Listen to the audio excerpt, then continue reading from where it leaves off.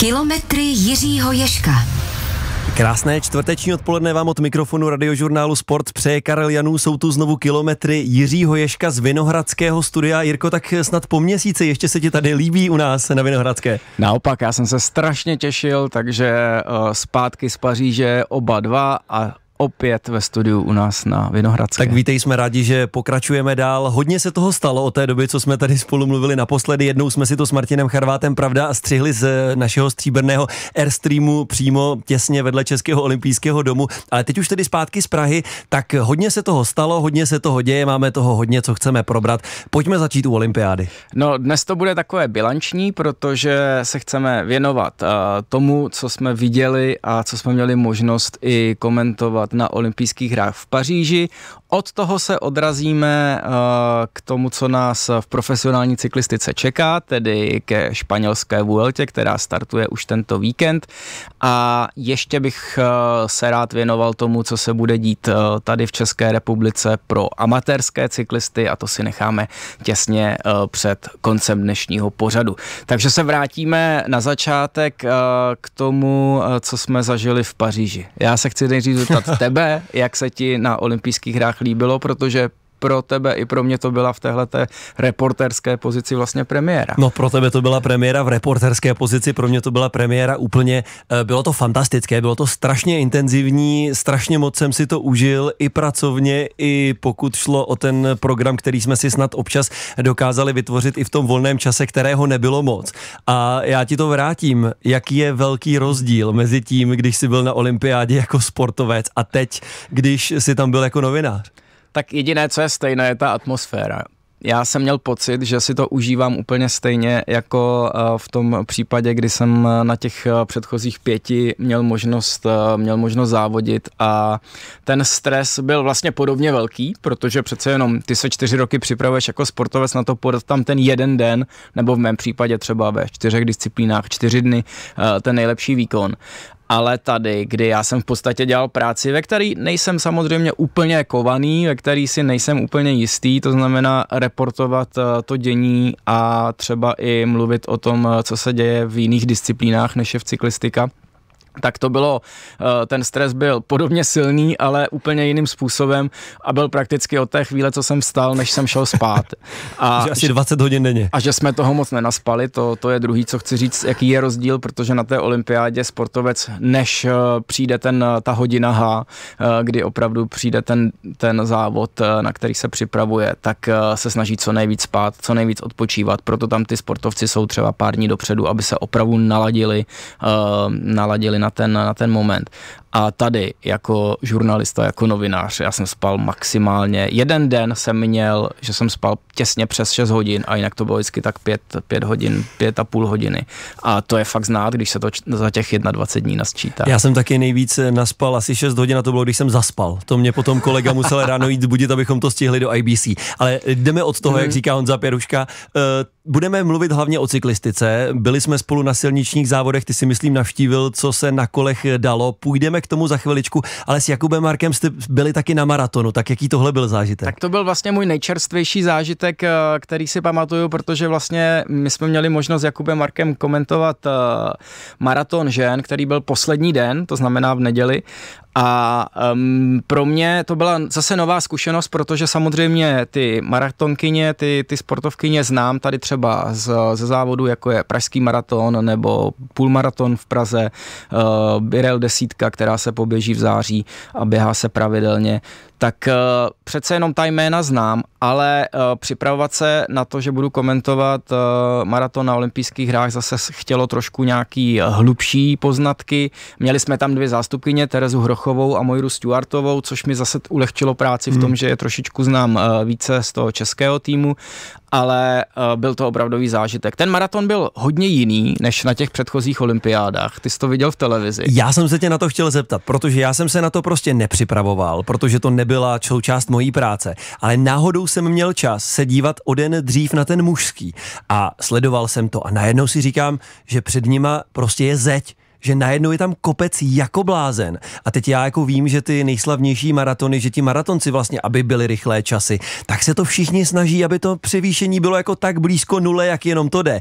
A tady to bylo hodně trošku jinak. A ono by to v té Paříži šlo, protože No, samozřejmě, jasně. kdyby se běželo jenom kolem Sény, kolem řeky, a protože startovalo se blízko Eiffelovy věže, takže vlastně to šlo namotat úplně po rovině, jako tomu bylo třeba, já nevím, a, v Římě nebo, nebo v případě a, Budapešti a, na těch mistrovstvích světa nebo mistrovstvích Evropy.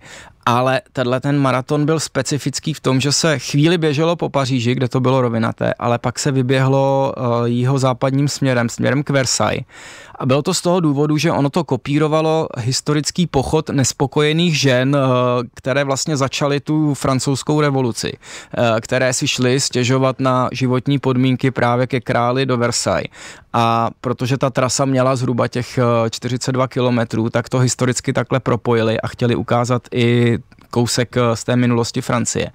A tam byly eh, fakt jako dva náročné kopce, které potom jakoby následovaly po sobě a jeden ještě náročnější seběh. A ten seběh byl opravdu, to mělo snad 13%.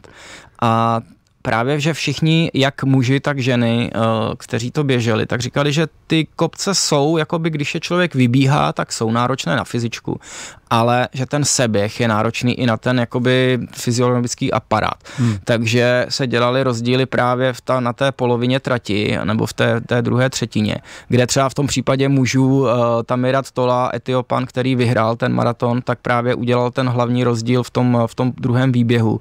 Ale přesto, že to bylo vlastně uh, takhle kopcovité a to převýšení bylo 400 metrů na těch, na těch uh, 42 kilometrech, což je opravdu jako uh, náročné, tak přesto padl olympijský rekord hmm. v tom případě mužů. Dvě hodiny, 6 minut, 26 vteřin. A to samé, ten olympijský rekord padl i v případě žen, kdy vyhrála Sifan Hasanová, která běžela vlastně ve skupince s Tixt Asefaovou a Helen Obiriovou. A tu Tixt Asefaovou etiopanku právě uh, Sifan Hasanová porazila až úplné cílové rovince. Na lokty? Na lokty, v poslední zatáčce. Něco podobného, o čem se budeme bavit za chvíli v případě horských kol.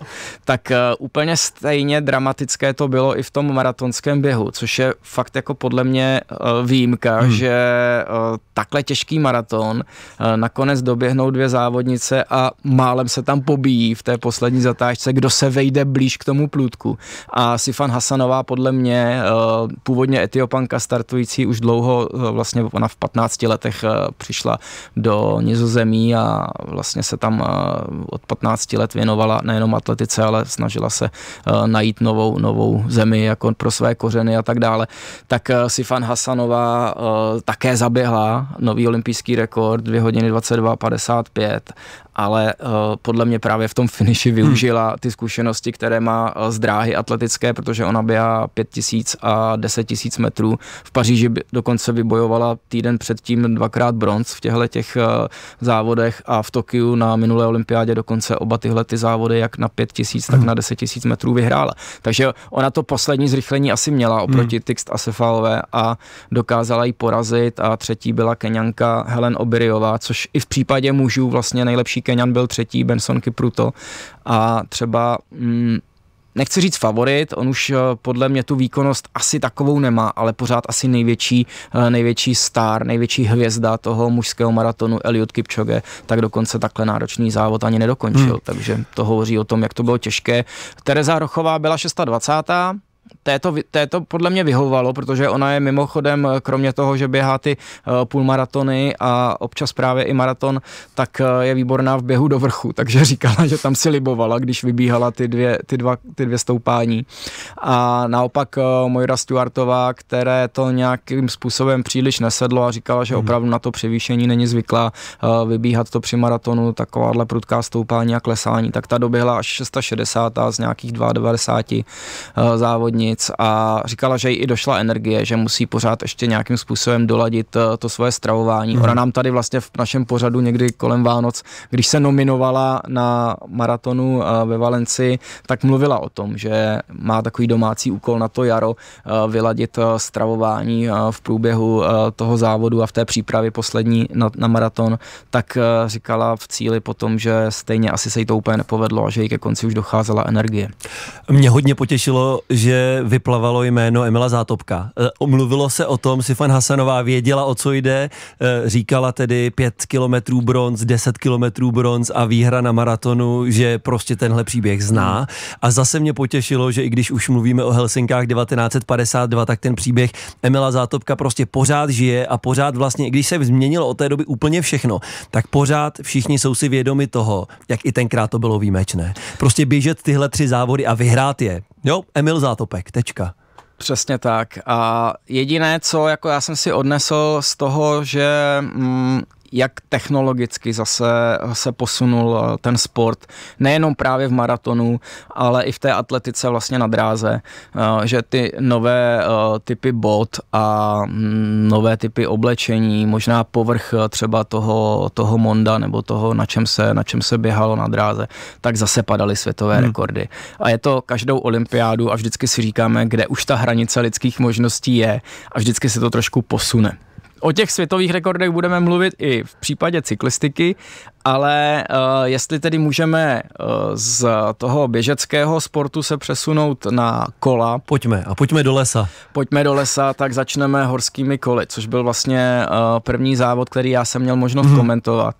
A ten závod byl pro mě i z diváckého pohledu opravdu nádherný. Ten areál v Elancourt Hill, eh, což je nějakých, eh, ještě dál než Versailles, nějakých eh, téměř asi 30 kilometrů od Paříže, tak byl vlastně namotaný na jednom kopečku a z diváckého pohledu opravdu nádherná tráť. Široké cesty uh, pro ty závodníky, vysypané takovým uh, hladkým světlým štěrkem, takže to vypadalo opravdu krásně. Závodníkům se v tom nejezdilo prý moc dobře, hmm. protože ten štěrk moc nedržel, že to bylo vysypané, ale příliš čerstvé a neudusané, takže v zatáčkách jim to prý ustřelovalo. A potom eh, v těch, eh, v těch stoupáních, kde byly takové esíčka různá a ve sjezdech zase kamenité pasáže, jak už je dneska zvykem v tom eh, cross country na horských kolech, tak to bylo krásně, krásně i snímatelné na těch velkoplošných obrazovkách v tom prostoru startu a cíle. A co bylo fantastické, byla ta atmosféra, protože se tam sešlo opravdu, já nevím, přes, přes 50 tisíc diváků jenom v tom prostoru startu a cíle. A bylo, bylo vidět, že uh, francouzi se na ten závod a francouzsky se na ten závod opravdu připravili skvěle, protože pr- právě v tom případě žen uh, Pauline Ferrandová Prevotová, která je už pětinásobnou mistrní světa na horských kolech, uh, vyhrála titul na silnici v roce 2014 nebo v roce 2015 vyhrála mistrovství světa uh, v cyklokrosu. A pořád jí chyběla jenom ta olympijská medaile právě na těch horských kolech. To je jediné, co říkala, že ještě nemá jakoby dořešené. A teď máš olympiádu v Paříži, seš, seš domácí obrovská hvězda. Oni tam nosili její vel, velké portréty, její hlavy. To bylo, já jsem si připadal, jak na uh, 1. máje, když se nosily ty velké cedule s Marxem, s Engelsem a s Leninem, tak tam byla všude hlava uh, vytvořená asi v desetinásobné velikosti Polín Ferrandové Prevotové fanoušci udělali neuvěřitelnou atmosféru a ona se jim, ona se jim odvětšila tím, že nejdřív jezdila na čele ještě se svojí parťačkou Loanou Lekomtovou ale když Loana Lekomtová měla těžký pád právě na té kamenité pasáži a to, to byla jediná taková hmm. kaňka, že ona tam opravdu pět vteřin ležela bez hnutí a všichni měli obrovský strach, co bude následovat. Naštěstí samozřejmě odnesli na nosítkách, ona ten závod už nedokončila, ale druhý den se v areálu ukázala právě v, při závodě mužů a byla kromě několika stehů na bradě a po otřesu mozku, tak, tak byla v pořádku. Ale Pauline Ferranová Prevotová pak už jezdila na čele sama, dojela do cíle první s náskokem téměř tří minut a já jsem si myslel, že ten Elancourt Hill, ten kopec, že vybouchne, protože to, to, byl, to bylo opravdu první takové velké setkání s tou francouzskou hmm. atmosférou hmm. na olympiádě, co oni umí. Takže to bylo, to byl vel, to jsem měl husí kůži, jenom když jsem to komentoval. Uh, druhá skončila potom po třech minutách, přijela Haley Betonová a švédka Jenny Rysvecová si přijela potom pro bronzovou medaili. Je to vítězka z RIA, takže už takhle dlouho drží vlastně hmm. svoji formu. Česká reprezentantka Adela Holubová ve svých 21 letech byla vlastně na první olympiádě a uh, říkala, že to na ní bylo prostě obrovské hmm. rychle. Že ta trať uh, byla, nebyla ani tolik technická, jako spíš uh, fakt rychlá a že i v tom horku, které tam panovalo, takže jí to nesedlo. Nicméně mm, dojela, byla odvolána potom těsně před cílem, protože už hrozilo to, že by Polin Ferrandová Prevotová, stejně jako další její parťačky v, tom, v té skupině vzadu kolem 30. místa, že by jí dojela, takže byla odvolána a skončila vlastně na 31. místě. Takže ten závod žen byl pro mě taková premiéra jakoby toho komentátorského postu, ale e, i skvělá atmosféra. A to samé následovalo potom v tom závodě mužů, kdy e, podobnou atmosféru vytvořil vlastně divákům Viktor Korecký, který vlastně téměř celý závod jezdil na čele. Jezdil i jako s poměrně velkým náskokem. On chvíli jezdil s Tomem Pitcockem, což byl asi největší favorit Brit, eh, který kombinuje stejně jako Polín Ferranová, Prevotová, horská kola ze silnicí, úplně skvěle, a s cyklokrosem samozřejmě. Tak eh, Viktor Korecký, eh, taky domácí velký miláček, tak, tak nakonec Tomas Pitcock od něj musel odpadnout z toho čela, protože měl defekt absolutně mě překvapilo, jak eh, jedeš o olympijskou zlatou medaili s domácím Viktorem Koreckým, máš defekt a on byl naprosto klidný. No, já jsem se tě na to chtěl zeptat. Já z toho, co i tady jsme říkali o tomu Pitkokovi a i z toho, co jsem tak měl pocit, že ho trošku znám, tak mě to strašně překvapilo. Strašně mě to překvapilo, jak byl ledově klidný, jak to kolo prostě poslal tomu mechanikovi a čekal. On věděl, že v tu chvíli nemůže nic udělat, ale přiznám se teda, že tohle, co předvedl v tom olympijském závodě, tak já smekám, protože on tou dobou vlastně byl na čele. A když tam musel to kolo měnit, tak se přiznám, jdu z kůží na trh, já jsem mu nevěřil. Já jsem mu nevěřil, že to dojede a kdyby to dojel, tak jsem mu nevěřil, že potom v nějakém závěrečném sprintu na to má. Uh, no, jako mohli bychom o tom mluvit dlouhé minuty, jak to nakonec dopadlo. Uh, děli se tam věci v tom lesíku, ne úplně vlastně vždycky pod dohledem kamer. Zase přiznejme, že to nebylo tak úplně dokonale snímané, bohužel tyhle ty závody. Ale nakonec prostě Tom Pitcock jako předvedl, že na tom, na tom cross country bajku prostě je nejlepší, no. No on byl opravdu největší favorit, ale po tom defektu on spadnul na nějaké sedmé, šesté, sedmé místo a jezdil s víc než 30 vteřinami mm. za právě vedoucím Viktorem Koreckým, kterého ty diváci hnali stejně jako tu, uh, tu francouzskou den předtím. Jo. Už to vypadalo, že budou mít dvě, zlatou, uh, dvě, zlatá, dvě zlaté medaile. A najednou ten Thomas Pitcock zabral a během tří kol se dostal zpátky na čelo, těsně za toho Viktora Koreckého, kterého si dojel v posledním kole a když najížděli vlastně do posledních technických pasáží, tak eh, Thomas Pitcock v jednom místě využil to, že ta trať se rozdvojila. On v té v té pravé části, kde jel rychleji, tak prostě se dostal před něj a uh, kolem, kolem stromu se tam nadspal prostě rychleji. Dřív tam byl o kousíček a Viktor Korecky už neměl kam jet, tak musel trošku přibrzdit, vycvakl nohu a Thomas Pitcock si dojel pro vítězství, pro zlatou medaili vlastně 6. 7. místa po defektu. Neuvěřitelný pro britské fanoušky, ale uh, ti francouzi byli tak, tak zklamaní hmm. a ještě, ještě měli v sobě tu hořkost toho, že měli pocit, že Tomas Pitcock Viktora Koreckého tam zavřel nečestně, hmm. takže ho obrovsky vybučeli v tom cíli, což mě trošku zkazilo tu olympijskou atmosféru. Ale uh, zase na druhou stranu jsem to chápal, byli zklamáni, protože už jim téměř vysela uh, další zlatá medaile hmm. a Viktor Korecký si nakonec dojel pro stříbro, ale i tak prostě neuvěřitelný závod. Kdo měl ještě větší smůlu než Tom Pitcock, tak byl Ondřej Cink.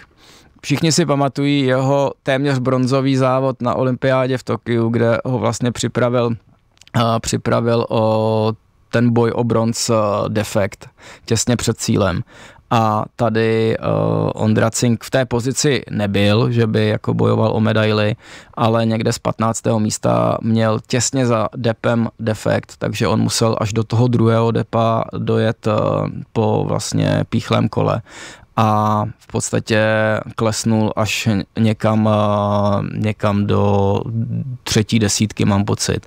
A pak ten defekt chytnul ještě jeden, takže byl opravdu zklamaný, dojel úplně téměř v slzách, ale nakonec nám v cíli přiznal, že na příští olympiádě v LA v roce 2028 bude 37 let a že to ještě teda zkusí. Takže já si myslím, že na potřetí už ho ta smůla nemůže potkat a že třeba mu to ten cyklistický pámbu nějakým způsobem vrátí.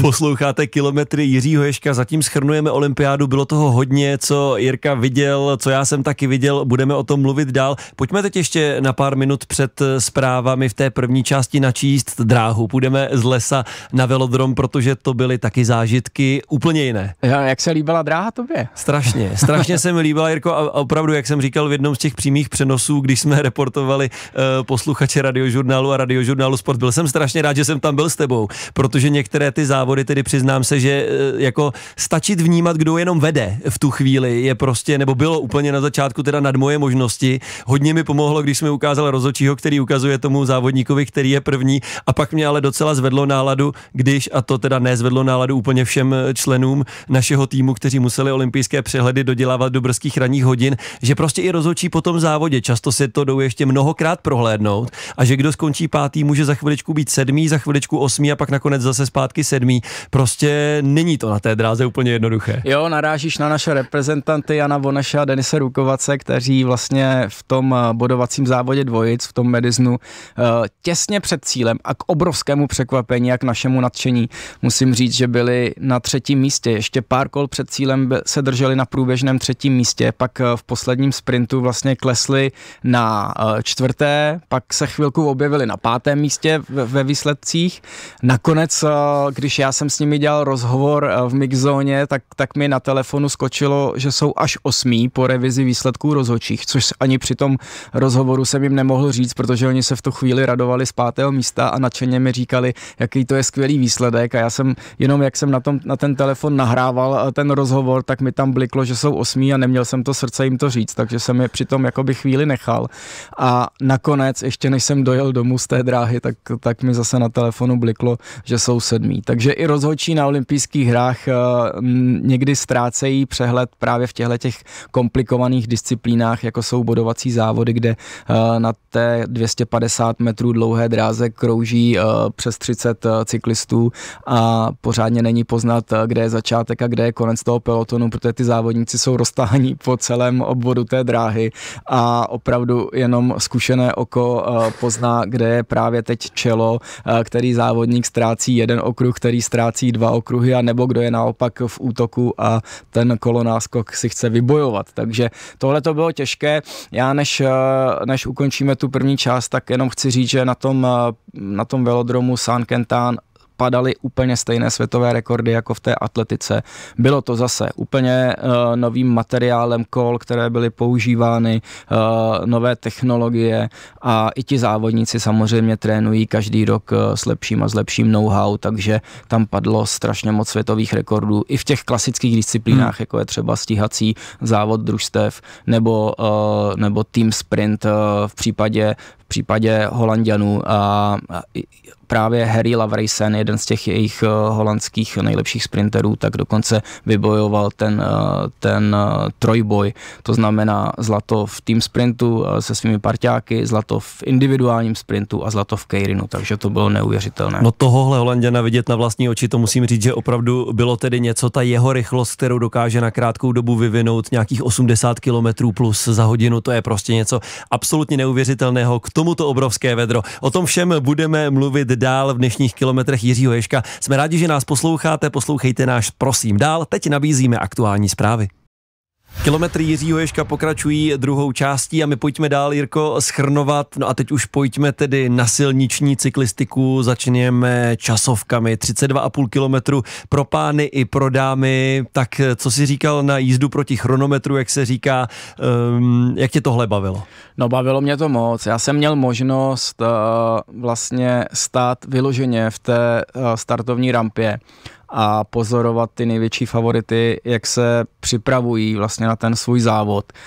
Bylo skvělé, že mezi ty, nechci říct úplné favority, ale mezi závodníky, kteři, kteří byli považováni za černé koně, byl i e, český reprezentant Matias Vacek, e, který tam přijel opravdu skvěle připravený do Paříže. Jak na ten silniční závod, tak i na tu časovku, protože On už před odjezdem do Paříže mluvil o tom, že časovce se letos hodně věnoval, vyhrál vlastně domácí šampionát a mluvil o tom, že na tom časovkářském kole trávil trošku víc času než v předchozích letech.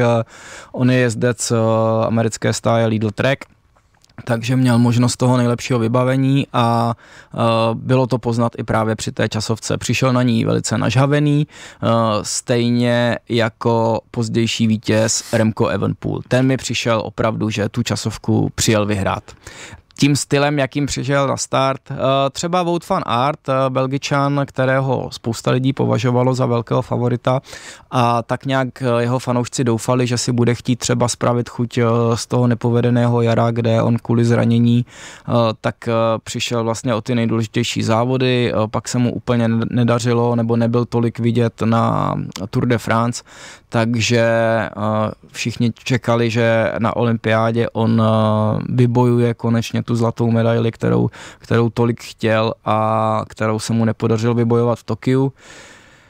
Proti měl být Filippo Gana, Ital, vlastně největší fenomén časovek posledních dob, eh, vysoký závodník, který, který má takové ty dlouhé páky, jak ruce, tak nohy a na něm bylo vidět, že je až nějak příliš klidný mi hmm. přišel. On si tam prostě povídal se svým mechanikem, vůbec nebyl nervózní.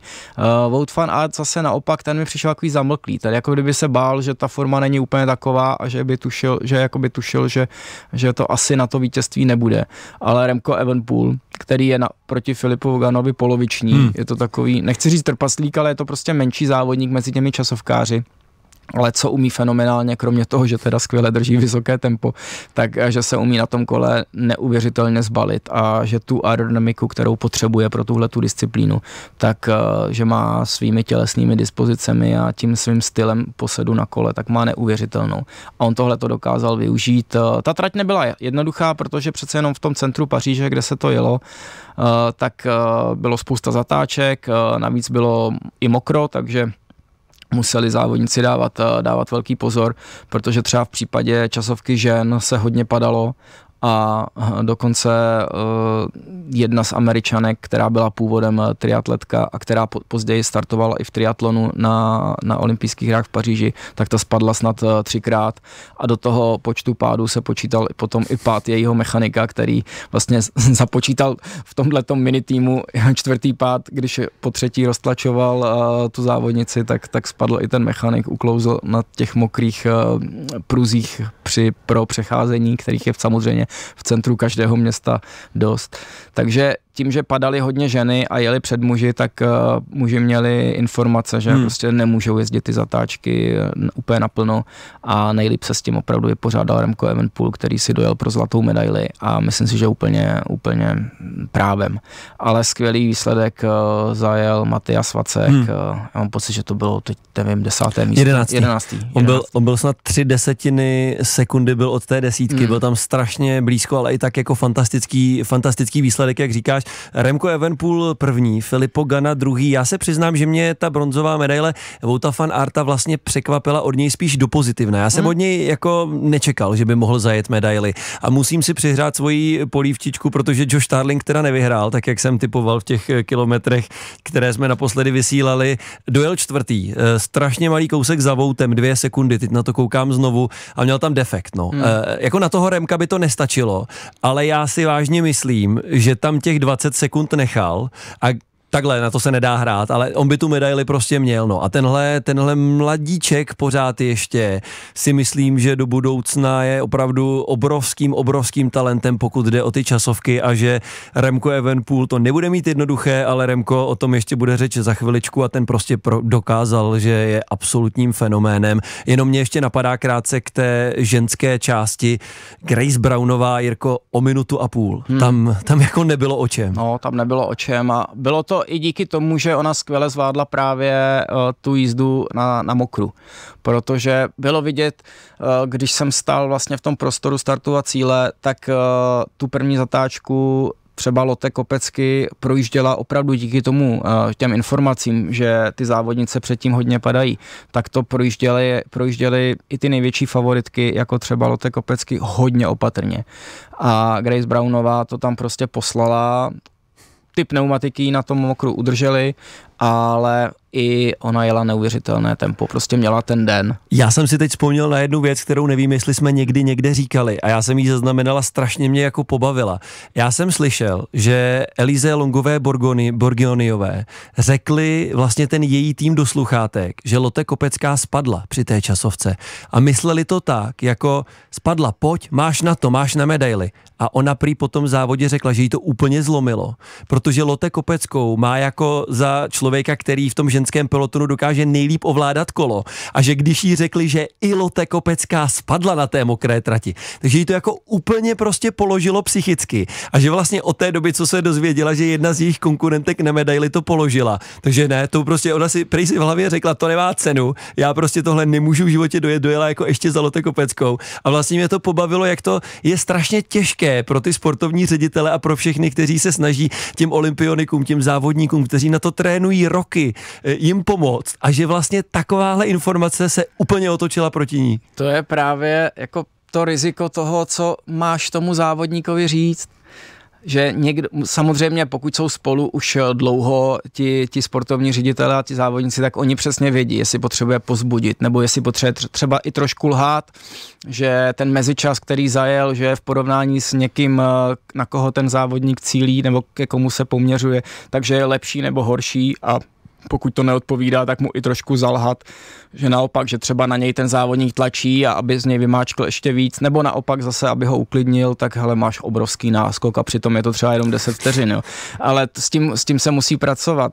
Uh, kde se s tím pracovat nedalo Paříži je právě silniční závod, uh, kde byly vysílačky zakázány. Uh, druhá taková výjimka oproti běžným závodům bylo to, že uh, ten maximální počet lidí v týmu, v tom národním týmu byla, byla čtveřice, takže ti závodníci museli opravdu se spolehnout většinou sami na sebe. Bylo tam také snad, myslím, že jenom 92 závodníků, takže mm, když odečteme těch pár uh, lidí z exotických zemí, hmm. kde byli vlastně v tom závodě jenom z toho důvodu, že je potřeba naplnit nějakou olympijskou chartu a olympijskou paritu, aby tam byli zástupci třeba z Afriky a z, z Ázie, tak uh, z těch vyspělých zemí tam opravdu startovali jenom ti nejlepší bez svých pomocníků, což je samozřejmě strašně těžké a navíc bez vysílaček a ta trať také nebyla jednoduchá. Měla 273 km, což je jako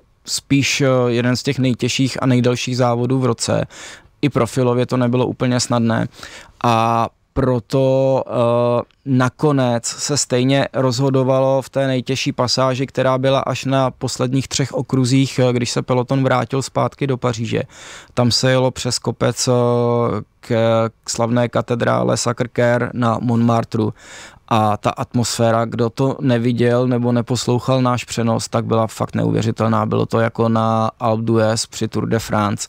Opravdu všechny ty chodníky byly zaplněné od ulice až eh, k domům. Eh, v několika řadách eh, ty, ty diváci, kterých tam muselo být přes 100 tisíc v tom na tom jednom stoupání, tak to bylo, to bylo něco, z čeho jsem měl zase husí kůži jako na těch horských kolech. A kdo se s tím nejlíp vypořádal, Remco Evenpool. Neuvěřitelné. Co jsi, čekal jsi to? Ne, nečekal. Jako byla to jedna z možností, ke které by mohlo dojít, ale vlastně ten závod, eh, nevím do jaké míry to Belgičané se hráli výborně, protože on tam Matěje van der Poel v těch přejezdech přes Montmartre útočil, ale Wout van Aert pokaždé se držel jeho zadního kola a prostě s Woutem van Aertem za sebou Matěje van der Poel dál jet nechtěl.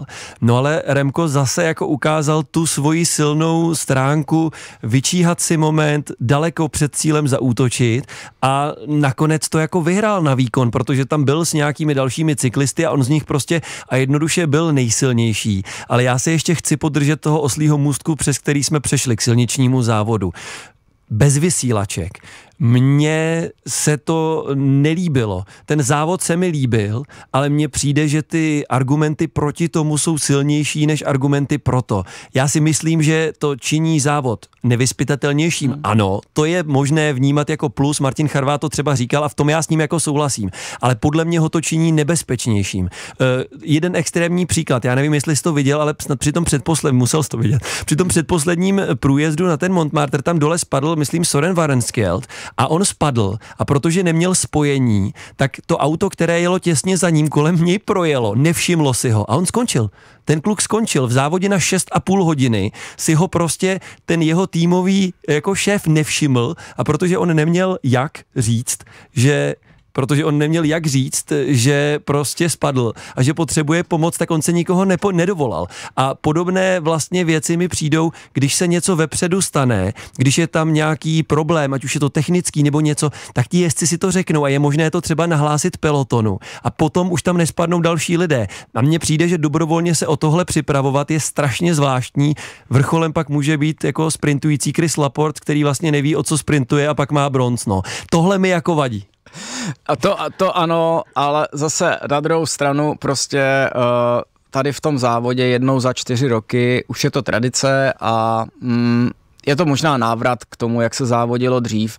A je pravda, že mm, já také jakoby jsem radši příznivec těch, těch vysílaček, ale tady v tom závodě nakonec eh, bylo vidět, že to byl opravdu ten rytířský boj muže muž, proti muži, kdy, jak, jsme, jak si říkal, uh, aktuální mistr světa Matěj van der Poel, uh, od kterého všichni čekali, že prostě v tom jednom stoupání kolem Sakrker, jednom ze tří těsně před cílem, že zautočí a že bude chtít prostě vyhrát tak, jak vyhrál vyhrál uh, loni v Glasgow ten titul mistra světa, tak vlastně se to stalo. On, on hned v tom prvním stoupání nas, uh, zaútočil, jediný, kdo se mu udržel za zadním kolem, byl Wout van Aert, tedy ti dva, od kterých se to prostě čekalo. A my jsme přeci seděli za těmi komentátorskými mikrofony a říkali jsme, no tak vlastně se odehrává to, co jsme všichni čekali, takže teď pojede Matěj van der Poel a Wout van Aert a jeden z nich eh, tu zlatou medaili vyhraje. Jenže uh, za prvé ani jeden nebyl tak silný, aby vydržel uh, ten, ten tlak těch závodníků za sebou. A v momentě, kdy se vrátili do pelotonu a trošku se zpomalilo, tak vyrazil ten třetí vzadu, Remco Evenpool, Samozřejmě Wout van Aert svého belgického parťáka nestíhal, Remco Evenpool vyjel a vyhrál a vyhrál, ale ty tři kilometry a 800 metrů před cílem, kdy já, a přiznám se k tomu, jsem opravdu, když projížděl Louvrem, myslel, že už na někoho mává, ale nemával. Uh, Remko Evenpool Jirko nebyl tak v klidu při výměně kola jako Tom Pitcock. Ne, ne, ne. My jsme říkali, že když po, vlastně naposled po třetí vyjel k Sakrker a pak už ho čekalo asi jenom uh, 11 kilometrů, z toho 7 ze sjezdu a pak uh, 4 po rovině kolem Sény do cíle, kde jsme čekali my uh, na tom komentátoru komentátorském stanovišti, tak jsme říkali, tak jestli, se, jestli nebude mít defekt, tak, se mu, tak už má zlatou medaili. A on ten defekt opravdu dostal. On ho dostal uh, při průjezdu uh, nádvořím u Louvru, u, na té slavné galerii a teď přesně jak říkáš, on začal mávat a my jsme si mysleli, že v opravdu zdraví diváky, ale on mával na svoje doprovodné auto, že má defekt a to, co tam předvedl, já se nedivím, já bych byl úplně ve stejných nervech. On zahodil to, to píchlé kolo a začal tam skákat jak tasmánský čertík, ať už mu konečně dají to kolo. A dostal ho neuvěřitelně rychle, hmm. ten mechanik by si zasloužil minimálně polovinu té zlaté medaile. A ještě ho dokázal roztlačit a Remco Evenpool to nakonec před dotírajícím Valentánem Maduazem udržel a pro tu zlatou medaili si přijel. Valentán Madua, který se mu právě v tom posledním stoupání neudržel za zadním kolem, ale jel tak minutu za ním, tak kdyby to kolo měnili o trošku díl, tak už by to bylo komplikované hmm. a možná by Remco Evenpool neměl tu zlatou medaili jak z časovky, tak ze silnice, ale Valentán Madu asi projel právě pro stříbrnou medaili a Kristof Laport, protože neměl ty informace a nevěděl vlastně, kolik je před ním lidí, tak se snažil jenom tak vyhrát tu svoji skupinku, podle jeho slov, že prostě sportoval, mm. že chtěl být nejlepší z té skupinky a nakonec boj, oni bojovali o bronz a uh, Francie měla tak stříbrného a bronzového a mezi nimi stál pod tou Eiffelovou věží uh, Remco Evenpool. A když jsme, Jirko, chválili Matiase Vacka za časovku, tak ho musíme pochválit i za ten silniční závod. On vlastně nakonec dojel ve skupince s Tomem Pitcockem a Matějem van der Poolem, no tak já asi myslím, že k tomu moc jako není co dál dodávat. A sám Matias nám říkal potom vlastně v té cílové rovince, že mu to jako o kousek ujelo, že mu vlastně o kousek ujela ta skupinka, kterou potom nakonec vyhrál Attila Walt, nebo respektive on ji vyhrál Chris Laporte, ale vlastně on byl jako ten jeden kousek, říkal, že mu prostě tam ty síly na to neměl, aby těchhle se udržel, aby přijel s Tomem Squinčem a Janem Tratníkem a Stefanem Kingem, ale prostě prostě fantasticky, fantasticky zajeté od Matyase Vacka, i časovka, i silniční závod a obrovský příslip, jestli můžu tenhle hmm. oslý můstek udělat před Vueltou. Jo, jo, jo, protože Matyas Vacek je jedním eh, ze dvou Čechů, kteří právě budou startovat na uh, blížící se Vueltě, na tom třetím uh, Grand Tour závodě, na tom třetím jedním ze tří nejprestižnějších závodů z Tour de France a z Giro d'Italia, tak uh, španělská Vuelta se jede už uh, tento víkend a bude to mm, jako boj těch, kteří jsou tak trošku uh, nechci říct B skupina těch favoritů na tyhle ty závody, ale nebude tam ani Tadej Pogačár, nebude tam ani Jonas Vingegaard, což jsou ty dvě jména, hmm.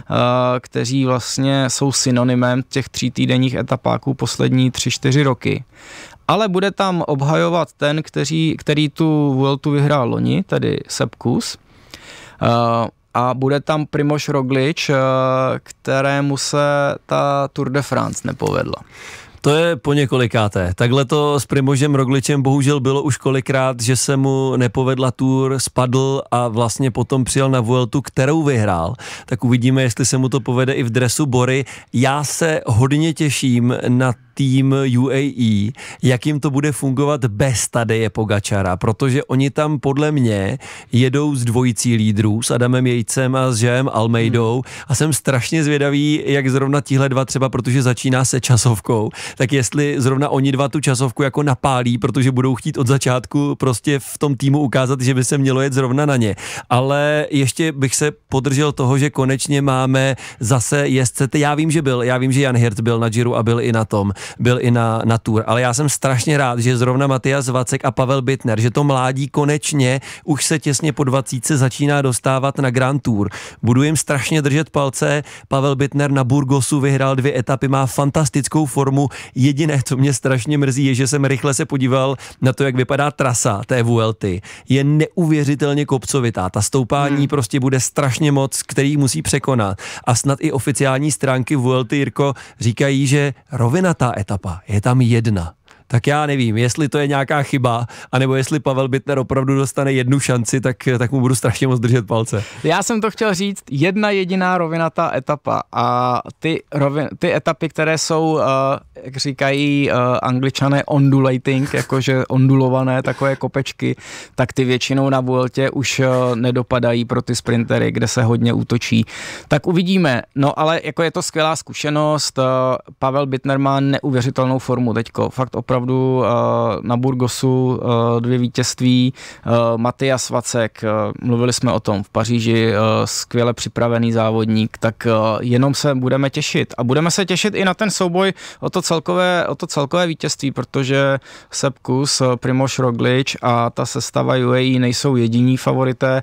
Je tam i Daný Martinez, mám pocit, že jede Wout van Art, takže ano, bude je. chtít, tam jsou dvě časovky, jednou se hned začíná, takže si myslím, že bude na co koukat a že ta Vuelta nebude ta třetí vzadu eh, po Giro a po Tour de France, ale že to bude zase velice napínavý závod a ten temperament toho Španělska tam bude vidět. Já si jenom, Jirko, říkám, jestli ještě cyklističtí fanoušci na to mají síly, protože ten letošní rok je opravdu úplně jako nesmyslně nabitý.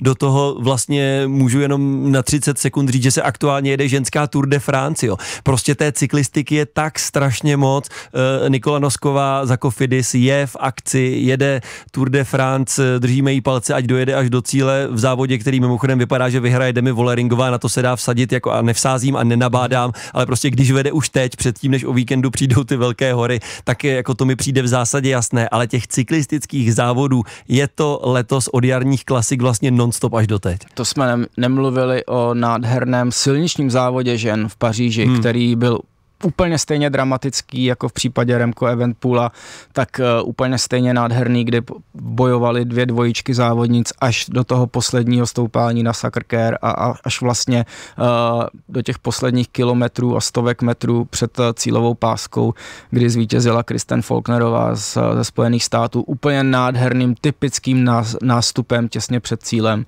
kdy porazila Marianne Fosovou, Lotte Kopecky.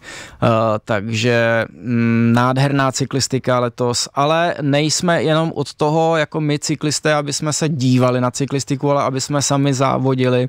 A jak jsme slíbili, tak jsou tady dvě šance hned na víkend, na tento víkend, kdy v sobotu se jede horský, horský závod Letap Czech Republic, jede se v Prachaticích, eh, má to něco přes 100 kilometrů, myslím, že 102 kilometrů, ale je tam přes 2000 metrů stoupání, nebo nastoupáno, eh, během toho závodu budou mít cyklisté, takže eh, kdo si vyzkoušel letap v Praze na Strahově směrem na Berounsko, už myslím, že to byl letos třetí ročník, mm-hmm. tak eh, teď je šance vyzkoušet si i trošku v jiném prostředí eh, v Jižních Čechách, start z Prachatic v sobotu, myslím si, že to bude zase nádherný cyklistický zážitek. Já tam budu a protože jsem měsíc neseděl na kole, tak všichni, kdo nás teď posloucháte, stoprocentně dojedete přede mnou. Takže kdybyste si mě chtěli vychutnat v tom kopci, tak rozhodně doporučuji. Mimochodem má být strašné počasí, hlásí bouřky, Jirko. Aha. Krásně to prostě letos mi to sedí. Asi já už nevím, které kolo si tam vezmu, abych, eh, abych vůbec nějaké funkční ještě doma měl. A už máš svoje kolo? Mám. Vrátili mi ho a už jim ho nikdy nedám, ale už se mi, už se mi konečně vrátilo domů a už ho nikdy nedám z ruky. A jak jsi říkal, že si měsíc neseděl na kole, tak protože jsme byli v Paříži spolu, tak já jsem také měsíc neseděl na kole a proto letap nepojedu. Ale pojedu v neděli, to je ten druhý závod, na který chceme pozvat uh, Grevlová a horská cyklistika v rámci Lipno Sport Festivalu, takže v neděli na Lipně ten klasický závod, který je tam každý rok eh, součástí toho Lipenského sportovního festivalu, pojede se buď 20 km pro ty úplně nejpohodovější, nebo klasická 60 na té druhé straně směrem, směrem k hranicím s Německem, tak tam bude nádherná trasa 60 km pro horská kola a pro grevly. Tam já budu.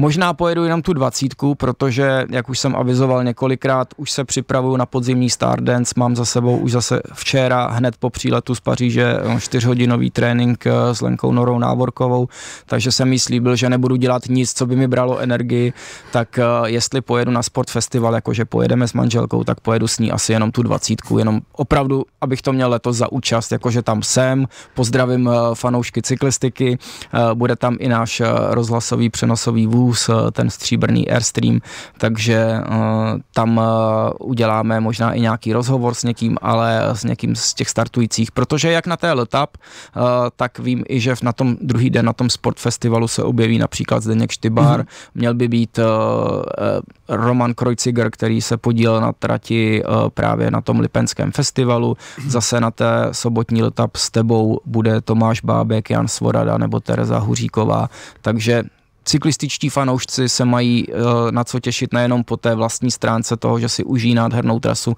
ale že tam potkají i ty velké sportovní hvězdy. Tebe, no, jasně. Karle, na Letap a mě. Jo, já, já tam jedu přesně s tou ambicí, Jirko, aby mě nesebral sběrák. Eh, tebe potkají na Lipně. Mimochodem tuhle akci opravdu doporučujeme. Stříbený Airstream tam bude po celou dobu, takže určitě se přijďte podívat. Eh, oslovte tam kolegy, kteří tam přímo na Lipně budou. Kameliáša, myslím, to má pod palcem.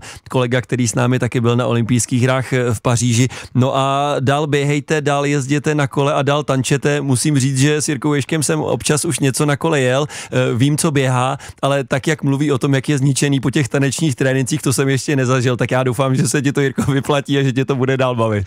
No, mě to baví samozřejmě, ale uh, opravdu teď nemám čas, takže pokud někdo sleduje můj účet na strávě na tom serveru, kam se ukládají uh, tréninky a kam si dávám veškeré svoje běžecké nebo uh, veškeré svoje cyklistické tréninky, tak teď je tam dlouhá nula. Je fakt, že v Paříži jsme běhali. Snažili jsme se. Ty si běhal mnohem pravidelněji než my ostatní. My jsme vyměkli časem, anebo to jako nebylo možné v rámci toho programu, ale snažili jsme se. Snažili jsme se, takže něco jako úplně jsme tam nezaháleli, ale bylo to spíš, eh, spíš o té práci a ta práce byla krásná takže já chci poděkovat radiožurnálu Sport za tuhle tu nádhernou zkušenost v Paříži. Mít možnost komentovat jak cyklistické, tak běžecké závody bylo strašně krásné. No já děkuji, já děkuji, že jsem tam mohl být eh, s tebou, opravdu mě to bavilo moc. Bavili nás i dnešní kilometry Jiřího Ješka, snad bavili i vás, naše posluchače, byli bychom za to rádi. Poslouchejte nás dál, budeme se těšit zase za týden. Teď už zprávy.